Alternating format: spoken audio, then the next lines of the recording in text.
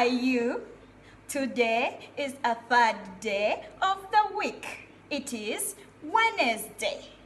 We sign Wednesday. Wednesday. Two times Wednesday.